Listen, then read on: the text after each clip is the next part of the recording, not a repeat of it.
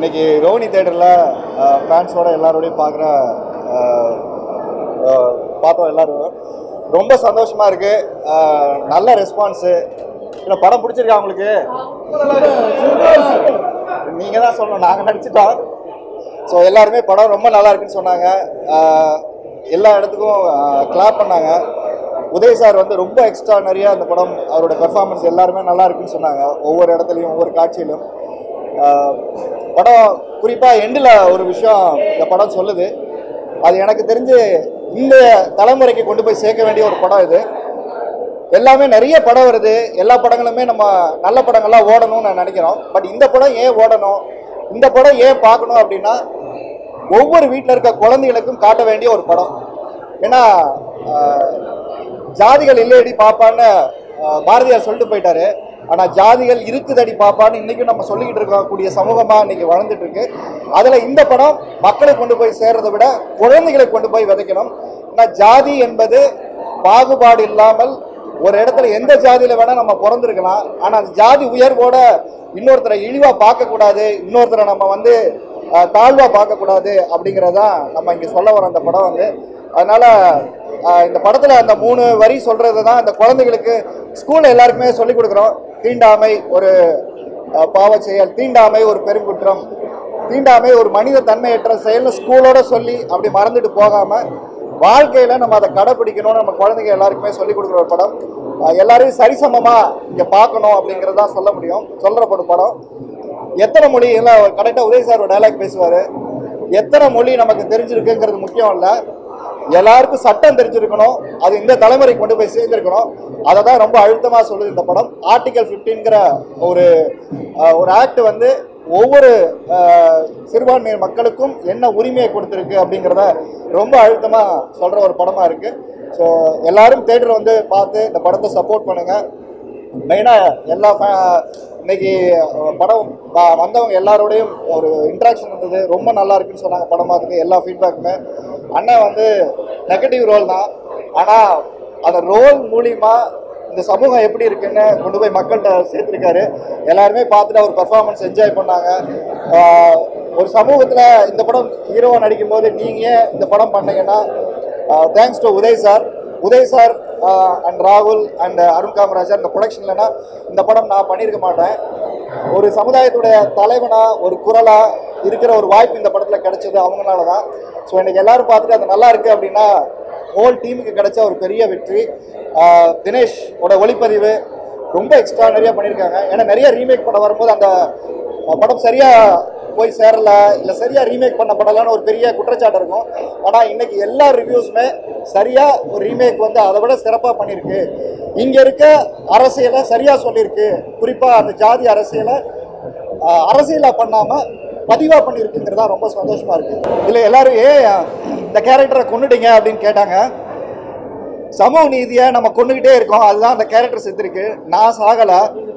ஒரு இடத்துல சமூக நீதி செத்துருக்கு அதை தான் இந்த படம் சொல்லுது. அதனால இந்த படத்தில் இந்த கேரக்டர் சாகிறதா ரொம்ப அழுத்தமான ஒரு விஷயம். அதை திருப்பு நம்ம ஒரு இடத்துல செய்யக்கூடாதுன்னு தான் அந்த படம் சொல்லுது. எவ்வளோ நேரம் நம்ம வர்றோம்னு முக்கியம் இல்லை. இந்த சமூகத்தில் இந்த படம் என்ன தாக்கத்தை ஏற்படுத்துங்க முக்கியம்.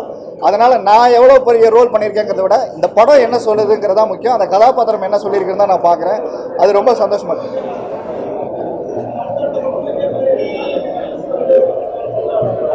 என்ன சார்.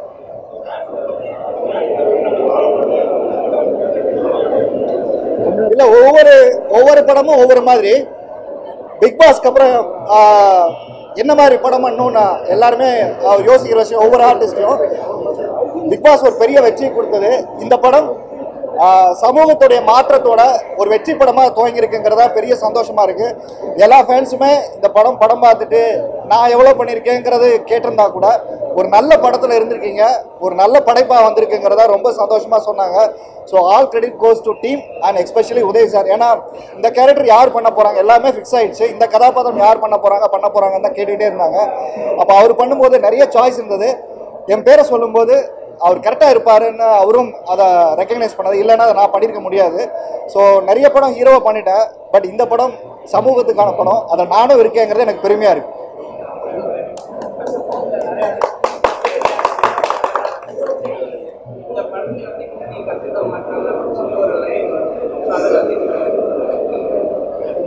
அது ஏற்கனவே நான் நிறைய இடங்களில் சொல்லியிருக்கேன். தாய்மொழி அவமானம் அல்ல. அதை நம்ம அடையாளம். இதில் ஒரு டைலாக் வந்து உதய் சார் பேசுவார். வெளிநாட்டில் இருக்கிறவங்கெல்லாம் அந்த குழந்தை கேட்கும் பிச்சைக்காரங்களாம் இங்கிலீஷ் பேசுவாங்களான்னு. எந்த நாட்டிலையும் அவங்க தாய்மொழி அவங்க பேசுகிறாங்க நம்ம ஊர்லேயும் பிச்சைக்காரன் தமிழ் பேசுவோம் அது நம்ம தாய்மொழியை நம்ம இங்கே பேசுகிறோம் ஸோ அதனால தான் எவ்வளோ மொழி கற்றுக்குறோங்கிறது இங்கே முக்கியம் இல்லை. அதனால நம்ம எல்லா மொழியும் கற்றுக்கிறதுக்கும் அதை ஒரு இடத்துல அவர் சொல்லுவார். கற்றுக்கிட்டு தான் ஆகணும்னா அதுதான் இங்கே பிரச்சனை. கற்றுக்கங்கிறது இங்கே பிரச்சனை இல்லை. கற்றுக்க தயாராக இருக்கும். அதை கற்றுக்கிட்டு தான் ஆகணுங்கும் போது அங்கதான் நமக்கு பிரச்சனையாக இருக்குது ஸோ எந்த மொழி கற்றுக்கணுங்கிறது அவங்க அவங்களுடைய விருப்பம். அதே நேரத்தில் தாய்மொழி மறவாமல் இருக்கணுங்கிறத இந்த படம் ரொம்ப அழுத்தமாக உதய் சார் சொல்லியிருக்காரு. அதை நம்ம எல்லாருக்குமே ஒரு எந்த மொழியில் பிறந்தோங்கிறது அது நம்மளுடைய அவமானம் இல்லை. அது நம்மளுடைய பிறப்புக்கான பெருமை. அதை தான் நானும் நிறைய இடத்துல வலியுறுத்திருக்கேன் இந்த படமும் அதை ஒரு இடத்துல வலியுறுத்துது. அது ரொம்ப கிளாப் பண்ணுறாங்க எல்லா இடத்துலையும். இந்த படத்துக்கு சம்மந்தம் இல்லாமல் இது இருக்கே அப்படின்னு நிறைய பேர் அது ஒரு விவாதமாக எங்கிட்ட கூட கேட்டாங்க. ஆனால் அதுதான் அந்த படத்துக்கு சம்மந்தம் தமிழ்நாட்டுக்கும் அதுக்கும் என்ன சம்மந்தம்னு இருக்குது தமிழ்நாட்டில் இருக்கிற அந்த சின்ன அரசியல் புரிதலை எடுத்து வச்சிருக்கு இந்த படம்.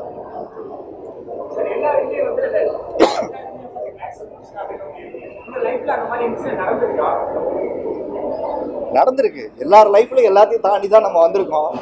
ஆனா சினிமால ஒரு தேட்டருக்குள்ளே உள்ளே போனவனே கமல் சார் இதை சொன்னார் சமூக நீதி எங்கே இருக்குன்னா லைட்டை தேட்டரில் ஆஃப் பண்ணவனே எல்லா இடத்துலையும் அந்த தேட்டருக்குள்ளே தான் அந்த சமூக நீதி இருக்குது தேட்டரில் பார்த்துட்டு போகிற மட்டும் அது இருக்கணுங்கிறதா அந்த படம் பார்த்துட்டு எல்லாருக்கிட்டையும் நம்ம சொல்ல வேண்டியது இருக்குது இந்த படம் எல்லாத்தையும் மாற்றுமாங்கிறது திரும்ப நான் ஏற்கனவே முன்னாடி ப்ரிவியூ முடிச்சுட்டு வரும்போது சொன்னேன் இந்த படம் எல்லாரையும் மாற்றுமா அப்படிங்கிற கேள்வியை வந்து நம்ம கேட்குறத விட மாற்றணுங்கிற நம்பிக்கையை விதைக்கணும். அது அவங்கவுங்க அவங்கவுங்க குழந்தைகளுக்கு எடுத்துகிட்டு போகணும். எல்லா குழந்தைகளுக்கும் ஜாதி பாகுபாடு இல்லாமல் இந்த படத்தை கொண்டாந்து காட்டணும்னு தான் சொல்கிறேன் ஏன்னா இதை ஒரு ஜாதியை உயர்த்தி ஒரு ஜாதியை தாழ்த்தி நம்ம சொல்ல வரல. ஜாதிய பாகுபாடு சமூகத்தில் இருக்குங்கிறதான் நமக்கு சொல்ல வரோம். அதை தான் இந்த படம் சொல்லியிருக்கு. இயக்குனர் அவரும் அதை சொல்லியிருக்காரு வந்து.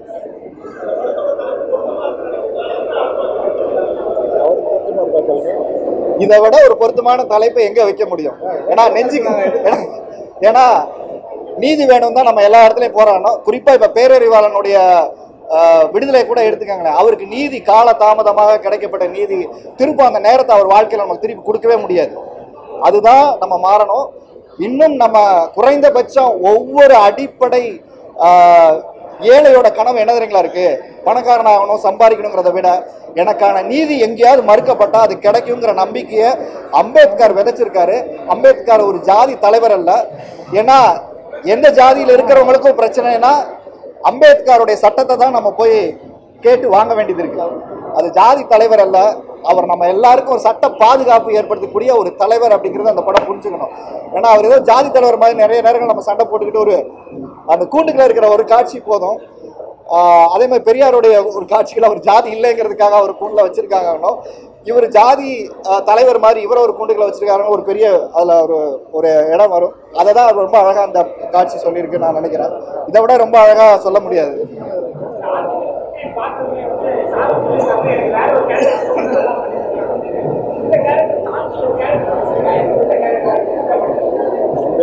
என் கேரக்டர் தாண்டியா? இவர் கேரக்டர் தான் நான் பண்ணிருக்கேன்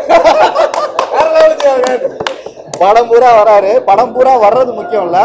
படம் பூரா அந்த கதையை அடுத்த கட்டத்தை நகர்த்துறது இருக்கு இல்லையா? ஒரு கதாபாத்திரம் மூலியமாக. என்ன எவ்வளவு தூரம் திட்டுறாங்கங்கிறத தாண்டி அந்த கதாபாத்திரம் ஒரு மக்கள்கிட்ட போய் சேர்ந்துச்சுன்னா அதை விட ஒரு விழிப்புணர்வு எது வேண்டிய இல்லைங்களா ஏன்னா அவர் சொல்லி ஒரு படம் முன்னாடியே சொன்னாரு. இது எல்லாரும் எவ்வளோ பேர் திட்ட போகிறாங்கன்னா அதுதான் அந்த கதாபாத்திரத்துக்கு வெற்றி. இன்னைக்கு எல்லாரும் பார்த்துட்டு வரும்போது அவருடைய நடிப்பும் பிக் பாஸ் நான் நிறைய அவரெல்லாம் நான் பார்த்துருக்கேன். அவர் எப்படி பேசுவான்னு தெரியும். பட் ஸ்க்ரீனில் சுரேஷ் தாத்தா தெரியல. ஒரு நடிகர் தெரிஞ்சிருக்காரு. எனக்கு அழகனுக்கு அப்புறம் நிறைய பேர் வந்து சொன்னாங்க. அழகனுக்கு அப்புறம் ஸ்க்ரீனில் பார்த்து கொண்டாடுற ஒரு கேரக்டராக அவர் இருக்காரு. அதுக்கப்புறம் எல்லா சினிமாலையும் இவர் தான் வில்லனாக இருப்பாருன்னு நினைக்கிறேன்.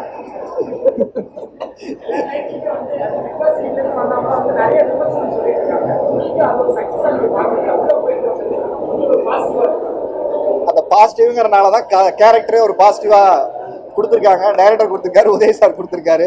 அதனால தான் இவ்வளோ பேர் பார்த்துட்டு நல்லா இருக்குன்னு சொல்கிறாங்க ஏன்னா எல்லா எல்லா ஹீரோக்குமே எப்போவுமே தோல்வியிலேருந்து ஒரு வெற்றியிலேருந்து ஆரம்பிக்கணும்னு நினைப்பாங்க. பிக் பாஸ் ஒரு வெற்றியாக இருந்தது. வெற்றிக்கு அப்புறம் ஒரு படம் வெற்றி கொடுப்பாரா? என்ன பண்ணுவாருங்கிற ஒரு கேள்வி இருந்தது. நான் படம் பார்த்துட்டு நீங்கள் சொல்லுங்கன்னு சொன்னேன். அந்த படம் இது எல்லாத்துக்கும் பதில் சொல்லியிருக்கு. ஒரு நல்ல படம் திரும்ப வெற்றியிலேருந்து அடுத்து என்னுடைய கேரியரை திரும்ப ரீஸ்டார்ட் பண்ண மாதிரி ஆரம்பிச்சிருக்கேன் அதுவும் இந்த மாதிரி ஒரு கதாபாத்திரம் கிடைச்சது எனக்கு ரொம்ப சந்தோஷமாக பெருமையாக இருக்கு. ஏன்னா அது ரஞ்சித் சார் பண்ண வேண்டியது. ஸோ அவர் பண்ணியிருந்தா எனக்கு இந்த வாய்ப்பு கிடைச்சிருக்காது. இது நல்ல ஒரு ஆர்டிஸ்ட் வச்சு நீங்கள் பண்ணுங்க. இது சரியாக வரும்னு சொன்னது வந்து ரொம்ப ஏன்னா அவர் இடையில பார்க்கும்போது கேட்டேன் நான் அவர்கிட்ட பேசினேன். நீங்கள் தான் பண்ணுறீங்களா ரொம்ப சந்தோஷம். வாழ்த்துக்கு நல்லா பண்ணுங்கனாரு thanks to Ranjith sir also பார்த்துட்டேன்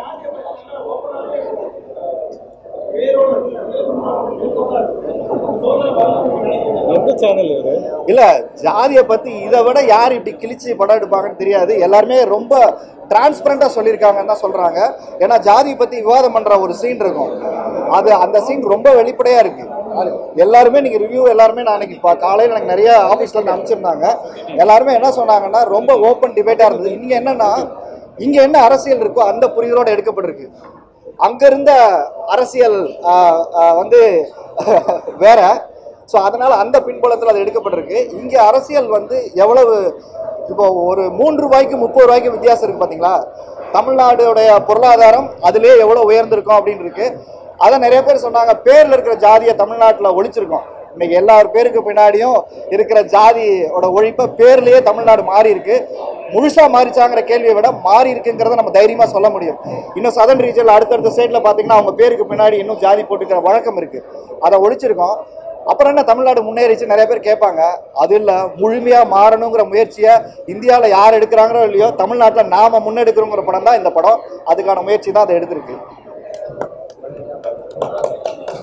என்ன ஒன்று நான் புரிஞ்சேன்னா ஃபர்ஸ்ட் ஆஃப் ஆல் ரொம்ப பெருமையாக இருக்கு. ஆரி வந்து அவங்க அப்பா அம்மா சார்பாக என்னை இங்கே கூப்பிட்டு அவர் இந்த மரியாதையெல்லாம் செஞ்சு அவங்க ரசிகர்களோட இந்த படம் பார்க்குறப்போ எனக்கு ரொம்ப பெருமையாக இருக்குது ரொம்ப லாங் வே வந்திருக்காரு. அவர் இன்னும் நிறைய வரணும்னு முதல்ல வாழ்த்திக்கிறேன். வாழ்த்துட்டு யாராவது டவல் கொடுங்க ஒரு கட்சி கொடுங்க. வாழ்த்துக்கிறேன். படம் எல்லாம் பார்த்துருக்கீங்க? எல்லாம் பார்த்தீங்களா சூப்பர். பிடிச்சிருக்கா? ஸ்ருதி டிவி போய் சொல்லுது.